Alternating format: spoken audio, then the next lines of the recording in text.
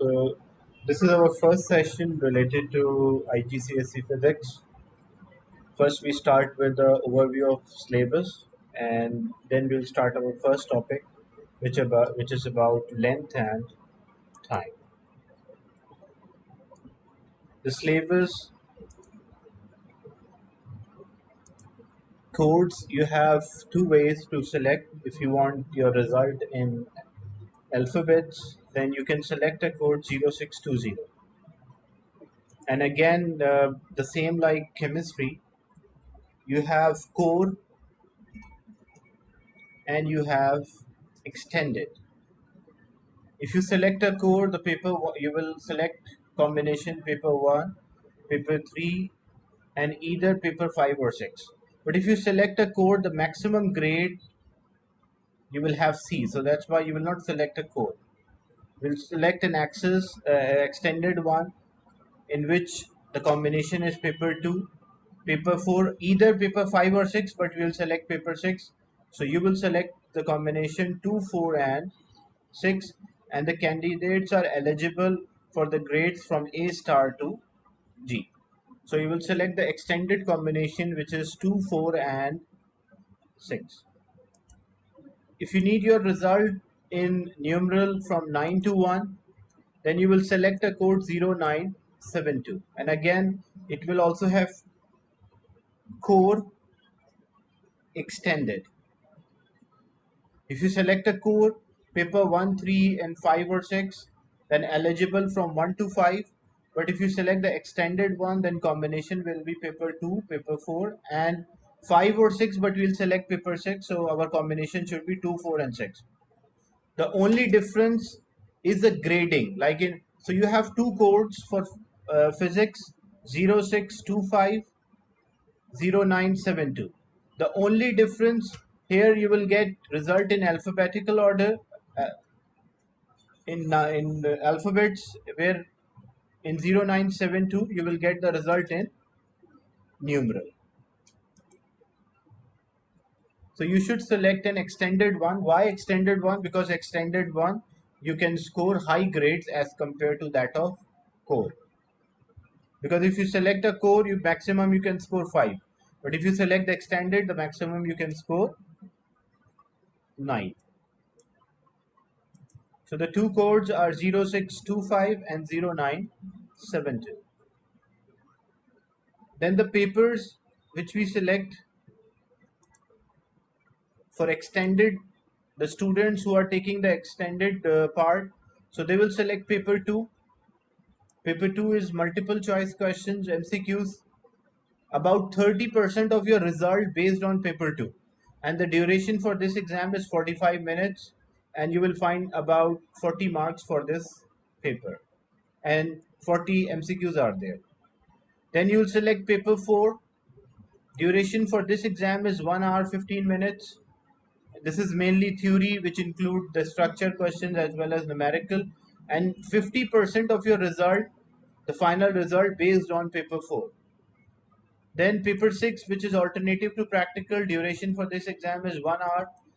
The total result um, based or the weightage of the paper 6 for the total result is only 20% and 40 marks are there. The duration is 1 hour so you will select paper 2, paper 4 and paper 6. Any uh, question related to the syllabus or the combination? So basically either you will select 0625 or you will select 0972. If you select 0625 you can score from A star to G, A star the highest one and if you select 0972 you can score from 9 to 1 the maximum the highest grade is 9 which grading system is better? It depends on the country in which you want to continue your study. Like example mostly uh, students from egypt they are taking the numeral grading. Because in egypt they have equivalent for these numeral grading but for students from South Asia, they normally prefer alphabetical because their system, they have the conversion or equivalent to alphabetical grading. So it depends on the region where you belongs to and according to your region you can select but it's there's no restriction. The difference between paper 5 and paper 6, the paper 5 is a practical like you will perform the experiment whereas paper 6 you will not actually perform the experiment but you will write the things related to paper uh, experiments. Like in the paper you will write they will ask the question like measure using a ruler measure or plot the graph draw the graph write the result. So you don't have to perform the experiment. Yes you can select paper 5 but normally uh, in our region this the schools are not providing this facility that uh, student can perform the experiment. So that's why most of the students are selecting paper 6 but there's no restriction. You can select either paper 5 or paper 6 but the the simple or the easy one is paper 6 in which you don't have to perform the experiment. You just have to measure according to the paper size and when you're asking a question it's better your question should be visible to everyone so that others can also understand that uh, for what question i'm answering. So they have uh, they, so if they have a doubt uh, that will be cleared as well. So when you're asking a question it, you can use your mic or you can use a chat but that should be visible to everyone so that the others can also understand the question and they are also benefited from your question to clear their doubts. So let's move on to the syllabus now. The syllabus content. So there are five main topics. These are not chapters. These are main topics, and these topics have multiple chapters. So five main topics are there: the general physics, thermal physics, the properties of wave include light and sound, electricity and magnetism, and atomic physics. So these are the five topics which will cover this whole physics syllabus.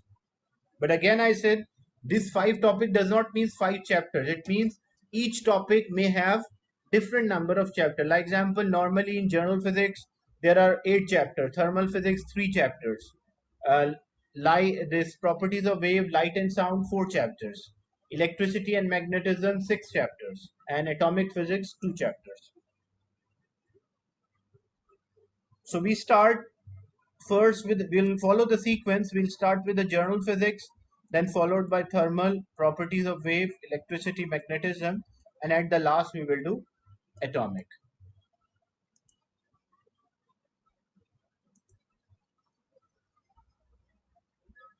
How many days will take to finish all of them?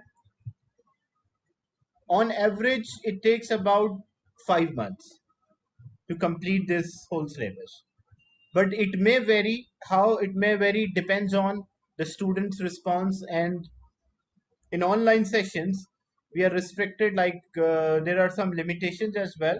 So we do not rush into topic and we'll try to finish within six months with past papers and the structure questions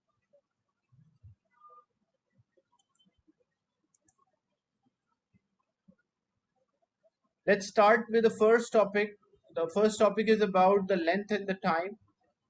But before this start, there are there are certain basic things which you should know. Number one, the fundamental quantities or the base quantities with their units.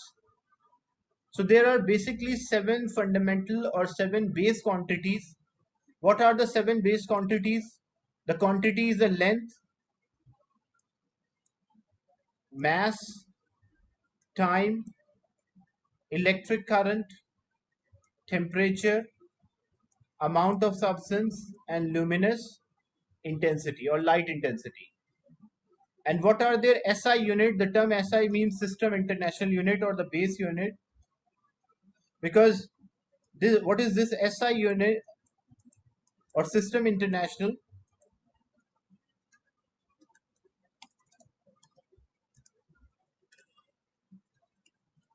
Basically this system international this is a system which is developed by different uh, physicists from different region and they consider that there are seven quantities which we call them as a base quantities or fundamental quantities. Why exactly these seven quantities? Because these quantities we can measure them directly. Like example if i want to measure a length i can use a ruler and directly i can measure the length if I want to measure the mass, I can just place the object in on the balance and I can measure the mass. If I want to measure a time, then I can use a stopwatch or a clock. I can measure the time. So because these quantities can be measured directly, so they consider them as the fundamental or the base quantities. There are seven, but you don't have to learn seven. You just have to learn first five of them with their units. So which one you have to learn? You have to learn length as well as the unit of the length. The SI unit, System International Unit is meter. Length can be in kilometer. The length can be in kilometer. It can be in millimeter. It can be in centimeter. But these, these are the units of the length, but these are not the SI units. What is the SI unit of the length? The SI unit of the length is only meter. So if in a question if a length is given in kilometer, millimeter or centimeter, so what you have to do, you have to always convert the length into meter. Same thing.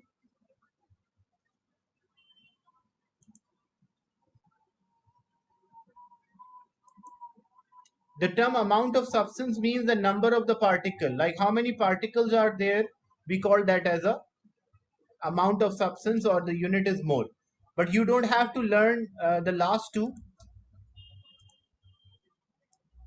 Like luminous intensity light intensity you will not learn and amount of substance you don't have to learn. Same thing a mass a mass can be measured in gram. A mass can be measured in gram milligram tons but what is the SI unit? The SI unit of mass is kilogram. So if in a question, in any question, if mass is given in gram, milligram, tons, what you have to do? You have to convert the mass into kilogram. Same thing, time. If a time is given in, time can be in minutes, it can be in hours, it can be in days, weeks, years. But what you have to convert? You have to always convert the time which is given in second. Same thing electric current it can be milliampere.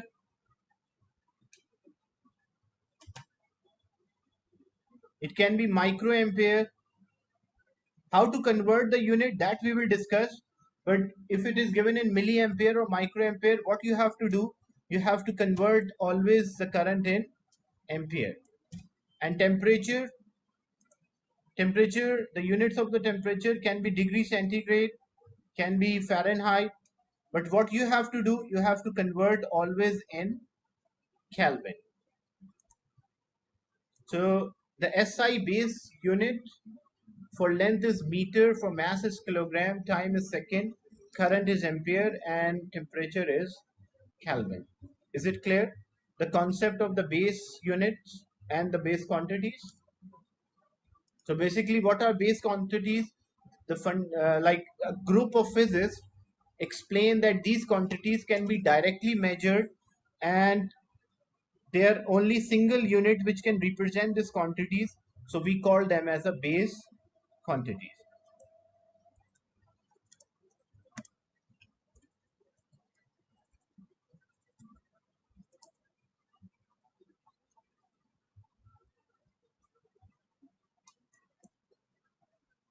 So for exam point of view, you just have to learn the first five. Length, mass, time, electric current and temperature. But there are other quantities which we called as a derived quantity. But what is the difference between the base quantity and the derived quantity? Basically, derived quantities are calculated from two or more measurement. Like directly we don't get these quantities, we have to do or carry out a measurement or measure two or three different measurement we need to get the quantity. Example, volume. If I want to measure a vo volume, example, if we have a cube,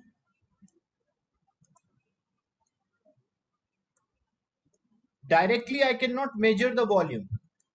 So what I have to do? I have to measure the length. I have to measure the width and I have to measure the height. So to get the volume of the cube, I have to multiply length, then width and then height and I have to measure three different quantities to get the volume. So when we are measuring or calculating a quantity by different values, what we call that as, we call that as a derived quantity. So volume is a derived quantity. Why volume is a derived quantity? Because directly you don't get the volume. You have to measure length, width and height in case of cube and get the volume. Same way density. What is density? The definition that when we proceed in the syllabus, I will explain each quantity in detail. But right now, because this is a start, so I'm not going in definition of a density. But what is density? Density can be found. So to get the density, I have to measure the mass and I have to measure the volume. So density, to get the density, I first should get the mass and then I should get the volume. So I have to calculate two quantities to get the density. That is why density is also a derived quantity. Same way about speed. To get the speed, I have to measure a distance and I have to measure the time.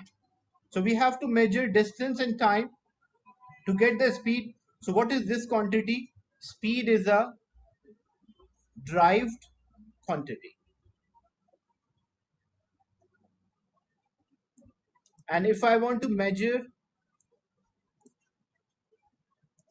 a force, these are the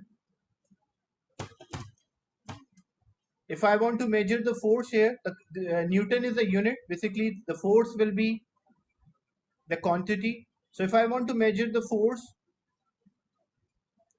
how we measure the force? It is mass multiplied by change in speed or acceleration. So I have to measure force by two quantities. That is why force is also known as the drive quantity. So the easiest way to remember how to work out whether it is a drive quantity or a fundamental. If you remember fundamental, like 7 fundamental, if you remember 7 fundamental, so any quantity other than these 7 are always drive quantity. So if I give an example, we have to sort out these quantities as fundamental and derived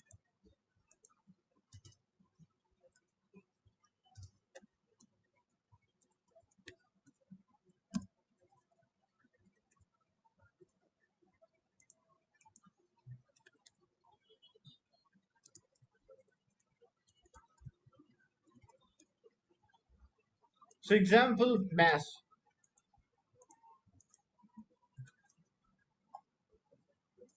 Fundamental or derived?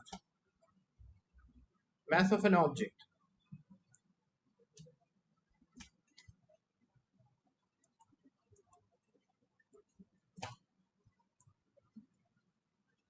So mass is a fundamental, the basic, so mass will be here. Length.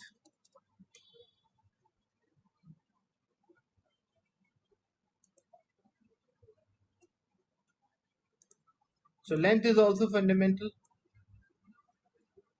But how we know it's a fundamental or a drive? So I told if you remember seven fundamental quantities, any quantity other than those seven are known as a drive quantity. So what you have to do, you have to just remember the seven fundamental. So if you remember these seven, any quantity other than these seven will be refers to the derived one.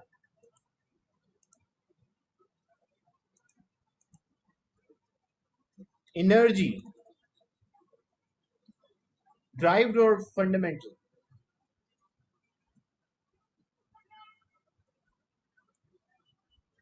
So energy will be derived. Acceleration. Derived or fundamental?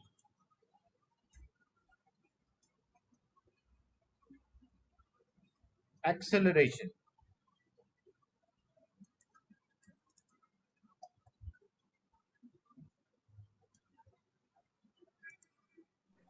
So acceleration. Drive.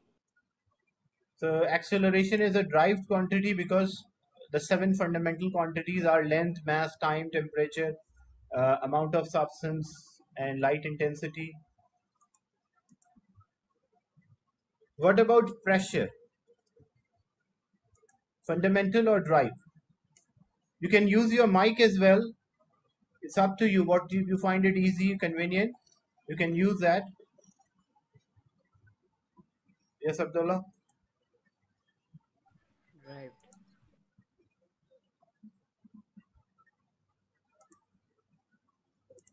So that is right. So same thing, same way. Like example, if I say temperature,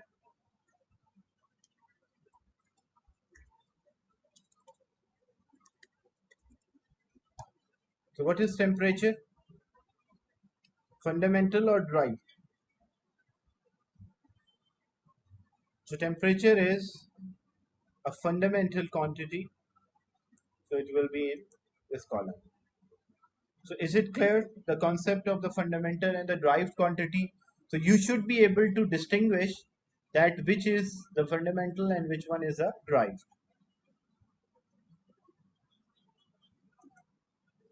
Then being a science student or being a physics student, there are certain things which you have to memorize or learn and one of them is the prefixes.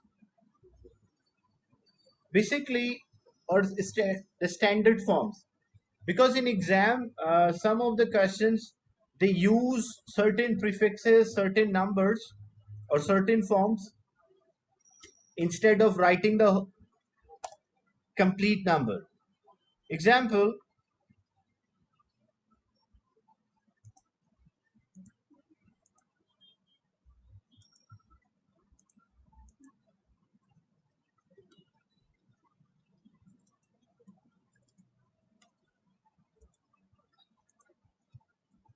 example in the question it is written uh, the time is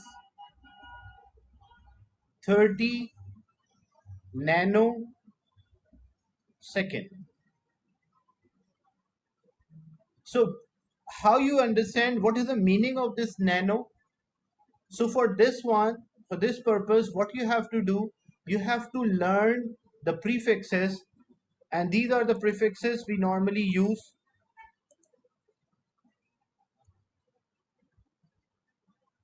So what is the meaning of a nano? Nano means it is 10 power minus 9. As you can see here, if it is written nano, what is the meaning of a nano? You can write 0 0.000 till 1 or you can write 10 power minus 9. So actually, when we write the whole, the complete answer, if it is written time is 30 nanosecond, so what does it mean? It means the time is equals to 30 into nano means 10 power minus 9 so 30 into 10 power minus 9 second. So that is the actual value of the time. So you have to understand that these terms because most of the question in numericals you will find instead of giving the numbers directly they normally use the prefixes. So what what are the prefixes normally they use it can be T. And instead of writing full they use these letters. If it is T it means tera T-E-R-A if it is capital G it means it is giga. If it is capital M it means it is mega. Capital K it means kilo same thing, if it is small p, it means pico. Small n means nano. This is a Greek alphabet like a U that is called mu. This is a Greek alphabet which we call a mu so if it is mu is there, it, it is called micro. And if a small m is there, it means it is milli. And what are the meanings? Tera means it is 10 power 12. Giga means 10 power 9. Mega means 10 power 6. Kilo means 10 power 3. So all the positive powers like positive 12 plus 12 plus 9 plus 6 and plus 3 we use capital letters. And if it is small letters like pico is there it means it is 10 power minus 12 nano 10 power minus 9 micro 10 power minus 6 and milli 10 power minus 3 so these are the scientific notations we normally use when a question is there. So if i say the temperature is 30 or time is 50 ms so what this m stands for eh, this s is a unit. And what is the meaning of this milli this small uh, m? It means milli. And that is a prefix. And what prefix we use if milli is there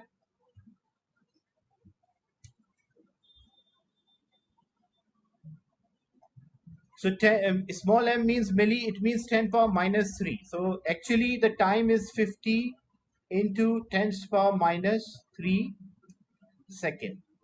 And this, when you substitute the value of the time in your uh, numericals so it should be 50 into 10 power minus 3 and how to substitute exponent minus 3 as most of you are using scientific calculators. So on your scientific calculator there is a button some of the calculator it is written exp capital e xp some of the calculators or some of the calculators it is written 10 power. So yes you can use a calculator in exam. Calculate the scientific calculators are allowed.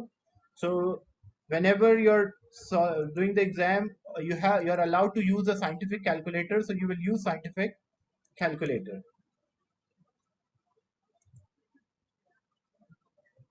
like here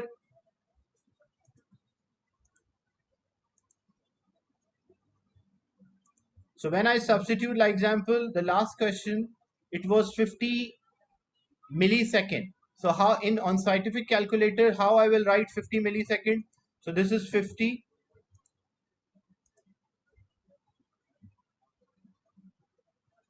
Then exponent exp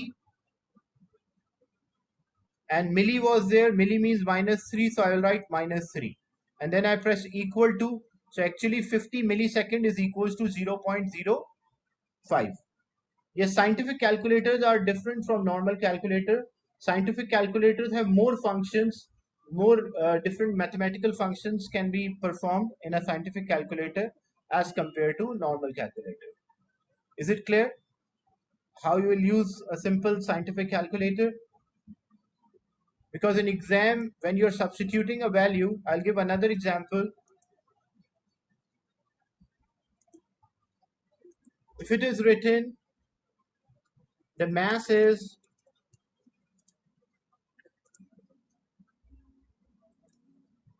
70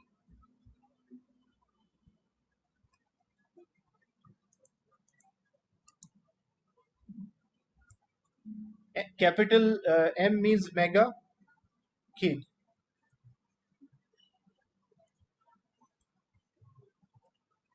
or small m I'm using it means milligram. So mass is 70 milligram but when I substitute the values I should remove the prefix I should not use milli here. Only the unit should be there. Gram is a unit. and m is a prefix. So 70 and this m what it stands for small m stands for 10 power minus 3 so I will write 70 into 10 power minus 3 grams but when I substitute this in a scientific calculator how I'll substitute so it is 70 70 then exponent some uh, of the calculator it is written exp some of the calculator is written 10 power.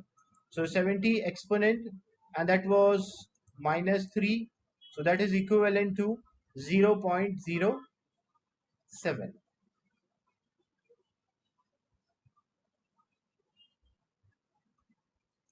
is it clear to everyone so you have to learn these prefixes if it is tera, if it is tera, it means 10 power 12. If it is giga, it means 10 power 9. If it is mega, 10 power 6. Yes, Saim, what's your question? Kilo, 10 power 3. These are extra deci and centi. Milli is there, 10 power minus 3. Micro, 10 power minus 6 nano 10 power minus 9 and pico 10 power minus 12 yes Saim Ahmed what's your question?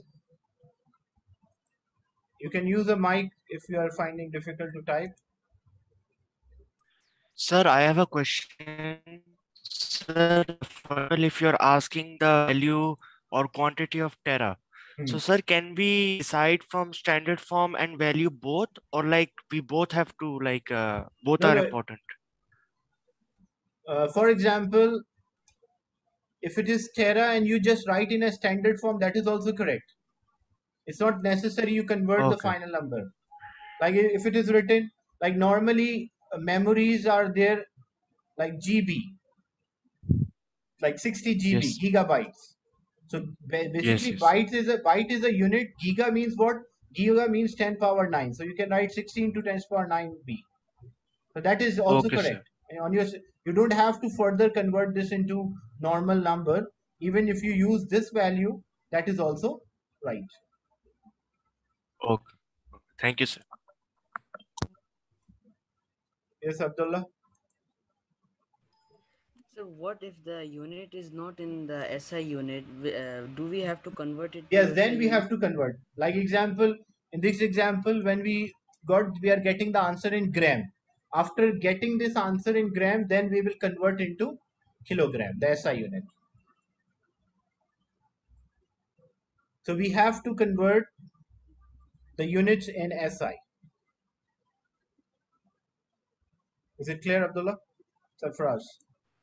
Yes, sir.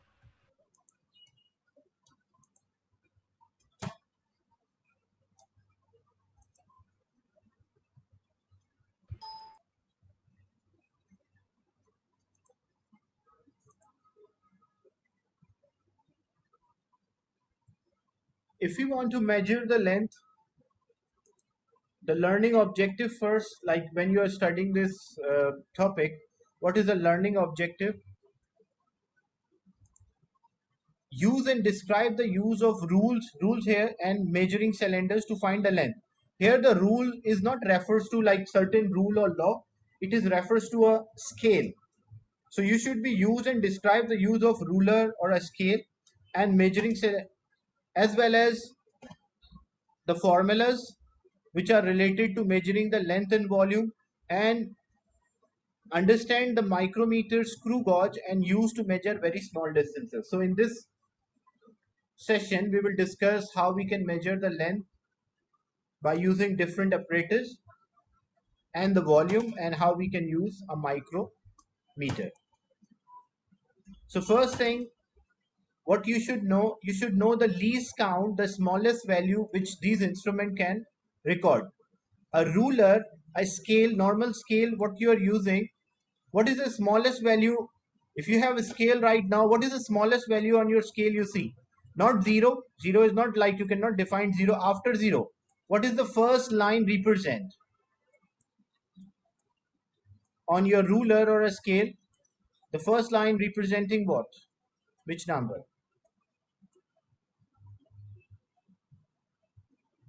0.1. So basically, because yeah, 0.1 and either centimeter or uh, millimeter.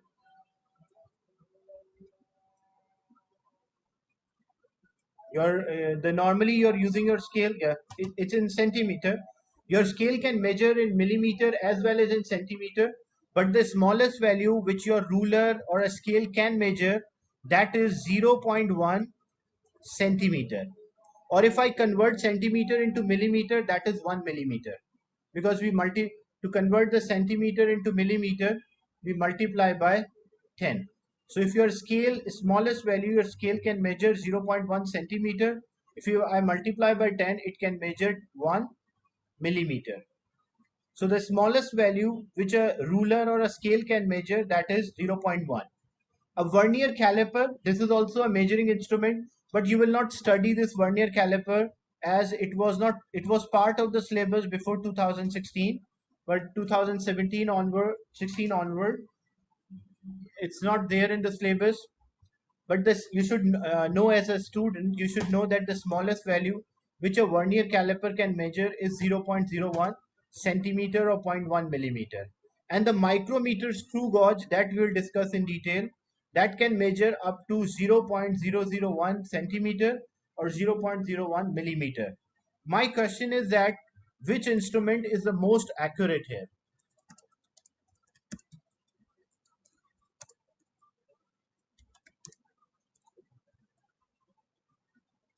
By looking at their smallest value, which instrument or which apparatus is the most accurate here and why?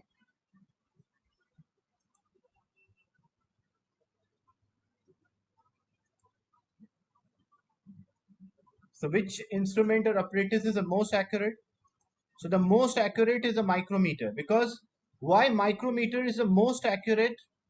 Because it can measure a very small quantity. So if your apparatus or instrument can measure a small quantity, that is considered to be the most accurate instrument.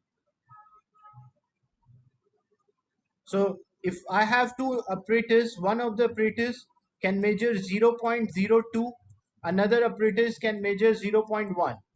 Which apparatus is more accurate? A or B? A can measure 0.02 centimeter and B can measure 0.1 centimeter. Which apparatus is more accurate here? Both are in centimeters.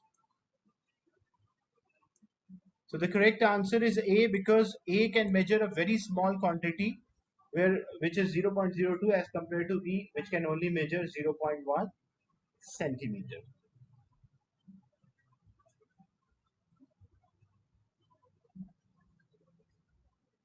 Less than a minute left so I'll continue the discussion, share another link and continue the discussion.